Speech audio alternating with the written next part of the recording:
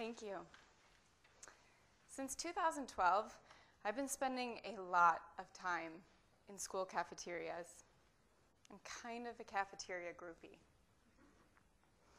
I'm not a paid teacher, and I'm not there to eat, nor am I studying the intricate social dynamics of elementary lunch companions, although I've gained quite an education in that area. Nope, I'm there for the garbage.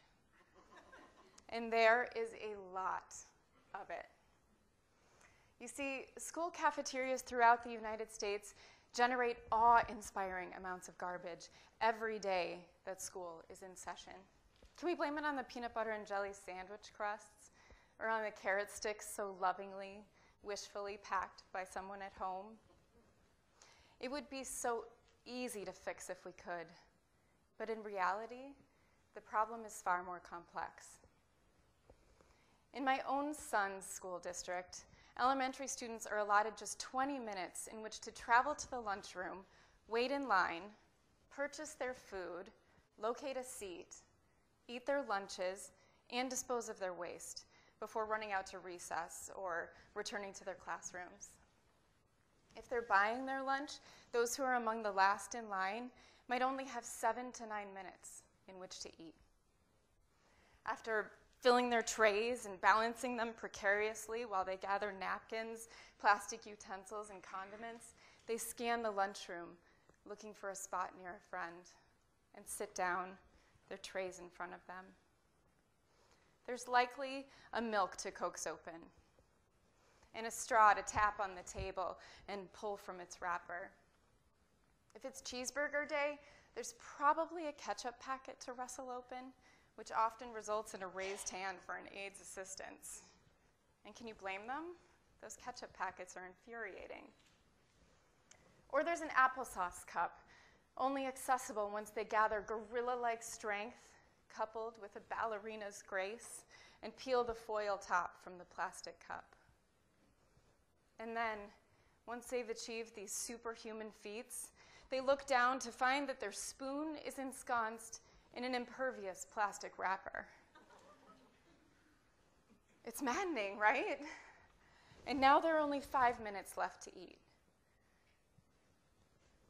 For the children who are among those on the free and reduced lunch program, this may be their day's best chance at a balanced meal, but only if they hurry.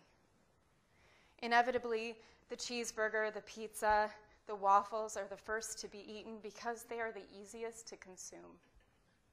That apple over there on the corner of the tray, all bundled up in its peel, it looks like a lot of work. And apples can be downright unfriendly when you're missing your two front teeth or stuck with a mouthful of braces. A little girl scoops up her sandwich crust and holds it up to her face. It's silly and it makes the whole table full of kids giggle. And they need to laugh. They need this social break in a day full of increasing academic pressures. And yet now there's just one minute left to eat. The supervisor's whistle blows, and the kids look down at their trays and their lunchboxes, still half full of uneaten food. They might have eaten their cheeseburger but left their milk unopened. There's no time to drink it now. Into the landfill, it all goes the pizza crusts, the half eaten cheeseburgers, the applesauce cups still wearing their collars of foil, the ketchup packets opened or not, and after brief hesitation, the unopened carton of milk. Now, the kids from ho- who brought their lunches from home hustle up to throw away what they didn't like or didn't have time to eat. And parents, you would be crushed. I am truly so sorry to be the one to tell you that the grapes you plucked from their stems at 6 a.m., the ones that you cut in half to prevent choking, and because your child likes them that way, those met the same fate. And the roll up sandwiches you took the time to craft into these adorable baby chick designs, those too. Your child doesn't want to make you feel badly by bringing them home uneaten. They do look pretty guilty as they throw them away, if that's any consolation. That is the lunchroom experience of most elementary age students every day. This is how we fuel them for their social, emotional, physical, and academic growth. And our school district is no exception. This same routine is repeated day in and day out in school districts across the United States. And therein lies the problem. We as adults are teaching our school age children that food waste is acceptable. We not only condone it, but we are complicit in its creation. We teach them that food and all the resources that go into producing it, packaging it, and transporting it are disposable and entirely renewable when we know that's not the case. So, how do all these numbers add up? Harvard University researchers have found that when lunch periods are too short, 20 minutes or less, students eat an average of 13% less of their entree, 12% less of their veggies, and drink 10% less milk than their peers who have 25 minutes to eat. Now, the USDA found that when lunch periods are increased from 20 to 30 minutes, plate waste is reduced by nearly a third. But when lunch periods are too short, the resulting food waste is staggering. Nearly 130,000 pounds in our school district alone, eight elementary schools, in a 176 day academic year. And that food waste often sits in a landfill's anaerobic environment where it emits toxic methane gas, a greenhouse gas 20 times more potent than carbon dioxide.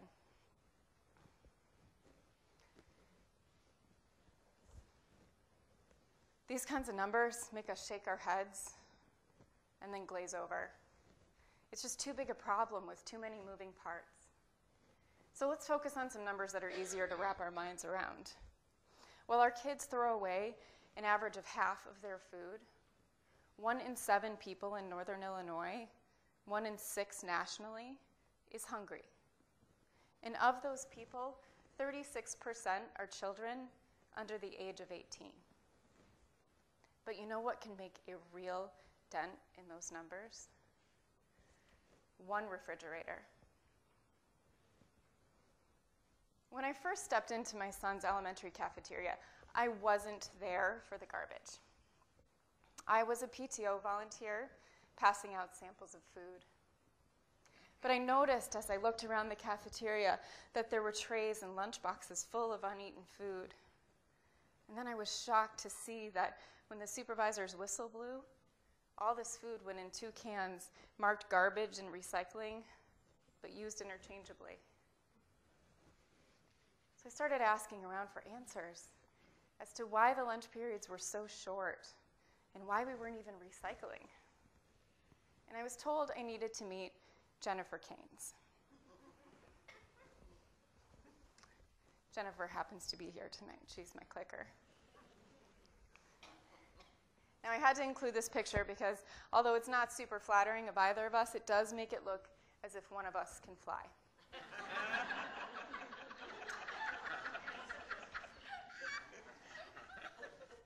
So, there was this powerhouse of a woman right here in my own town pursuing a master's in conservation and focusing on the issue of school food waste.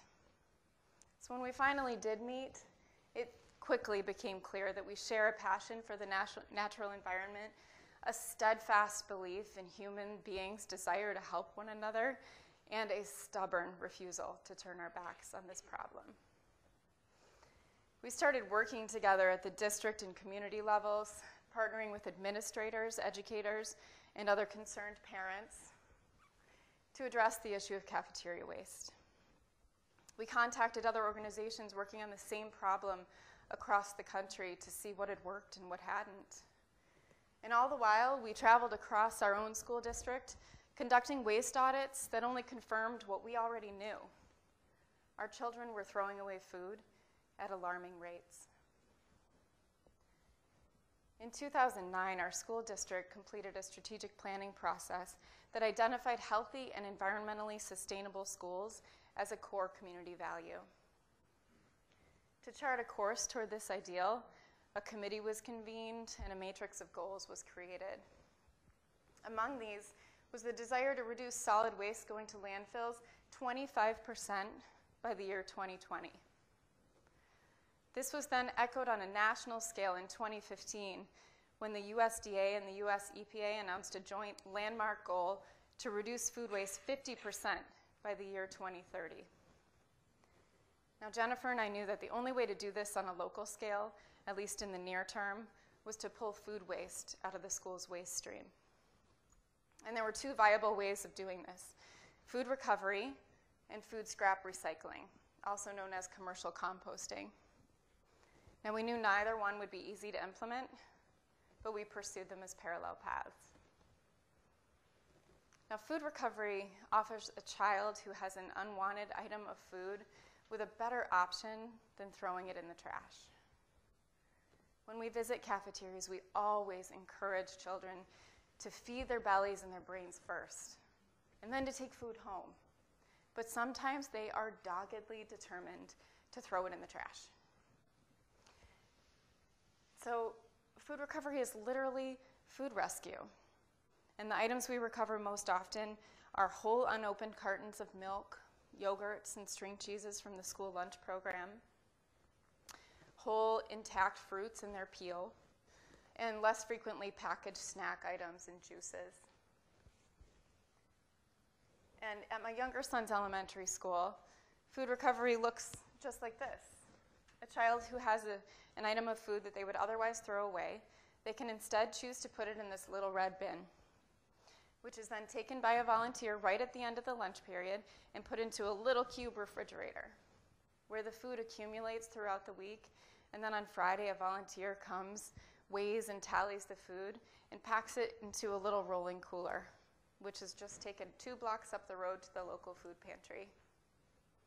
It's a little neighborhood school doing its part to solve the big problem of hunger in our local community. It's often been said that hunger is the world's dumbest problem. It's a problem of distribution, not of production. In the US, we waste about 40%, 133 billion pounds of food annually. It's calories that never fuel a body, nutrients that never nourish. Jennifer and I both firmly believe that one answer to this problem lies in small part in the surplus food in our cafeterias, and in large part in the hearts and minds of the children who eat there. Now, food recovery empowers children to do what they already know is right.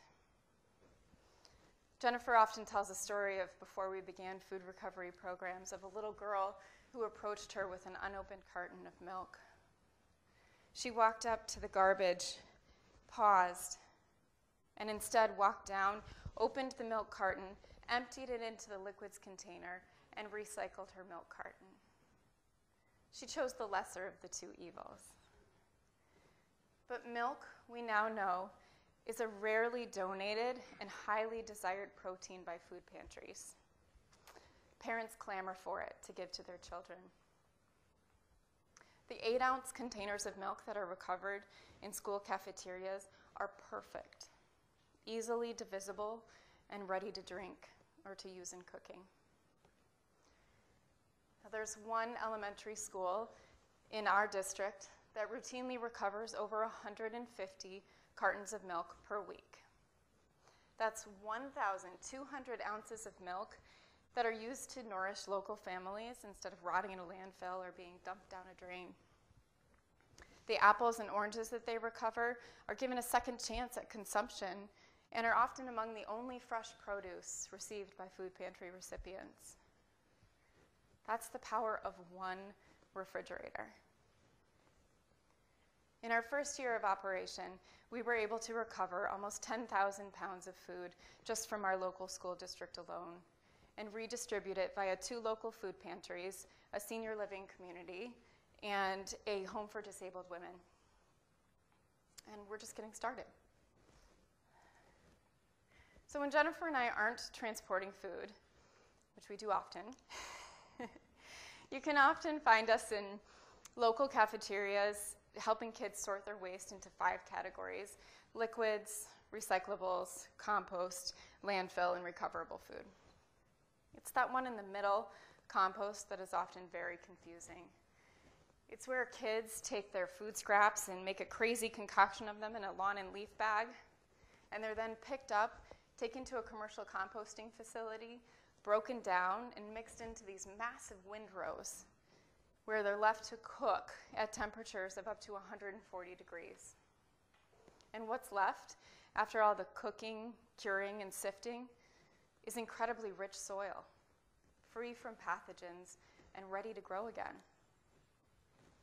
Now, this is a tremendous opportunity for our local school district, but it also comes with significant challenges. It requires a lot of education and nitpicky things like remembering to take the carrots out of the baggies before throwing them in. Um, so Jennifer and I looked far and wide for a solution that would help kids sort effectively and quickly, because they don't have a lot of time. and we landed on this stainless steel sorting station. It's really quite a contraption with a nice surface on which kids can set their trays or their lunch boxes and refer to the signs as they sort their way down the line. It's an investment of time, of money, and of hope. I was standing near a sorting station just like this one a few weeks ago when a kindergartner who's new to school and new to composting came up to me and he was waving his sandwich crust high above his head. This is going to be soil, he said, before he threw it into the compost bag. That's when I know the future is bright. Now, food recovery and composting won't solve all of the problems facing today's cafeterias. The myriad issues caused by lack of time to eat, the quality and diversity of the food that's served, and the mountains of packaging waste. Those are for other TED Talks. But we can recover food and compost right now to empower kids to do what's right and to underscore that food is a valuable resource at every point in its life cycle.